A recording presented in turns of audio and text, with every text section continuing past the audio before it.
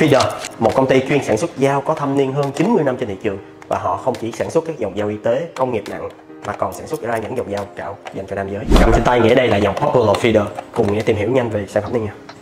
Popular Feeder sẽ là mẫu dao cạo giá tầm thấp, rất phù hợp dành cho học sinh sinh viên hoặc là anh em thật sự là newbie muốn trải nghiệm các dòng dao safety razor. Được thiết kế đa phần là bằng nhựa, chỉ có phần trục và phần cánh bướm sẽ là phần thép không rỉ cao cấp nên việc này sẽ giảm thiểu chi phí sản xuất và đây là một cánh bướm nên sẽ rất là dễ dàng tháo lắp lưỡi lam vào bên cạnh đó, trục quay sẽ là phần nằm bên dưới đầu cạo sẽ tạo cảm giác dễ dàng thao tác hơn. Popular sẽ được tặng kèm một hộp, hai lưỡi lam cao cấp từ nhà feeder. Quan trọng, một lưỡi có thể xài 6 tới 8 lần nha. Đến lúc trải nghiệm rồi. Và đây sẽ là safety razor nên anh em phải sử dụng các cạo với bọt nha. Cảm giác cạo lần đầu thì Popular sẽ không gây ấn tượng quá nhiều với nghĩa vì cái độ bám râu của nó không được nhiều, nhưng suy cho cùng đây là một dòng dao giá rẻ. Và nghĩa sẽ chỉ cho anh em cách sử dụng hết hiệu năng của mẫu dao này. Hãy xem hết clip nha.